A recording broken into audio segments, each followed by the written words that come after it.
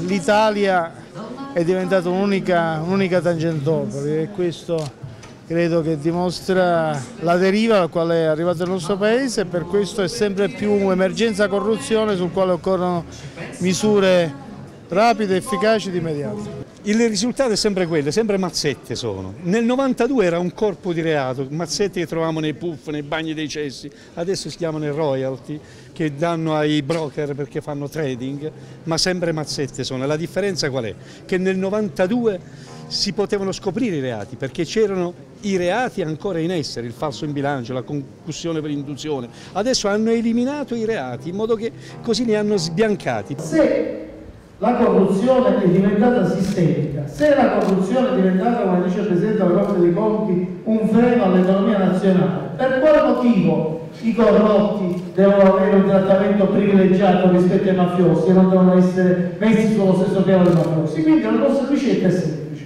Estadiamo ai corrotti la normativa che oggi viene applicata ai patrimoni dei mafiosi.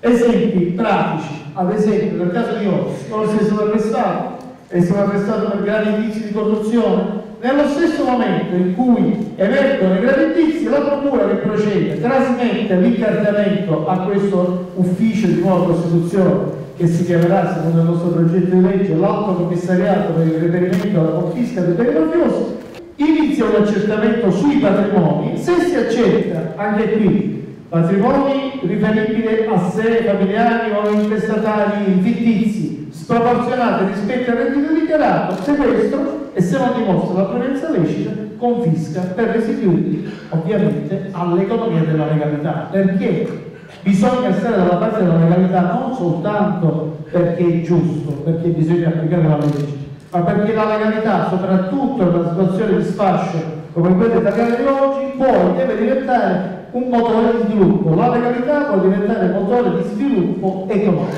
Questa è la nostra ricetta.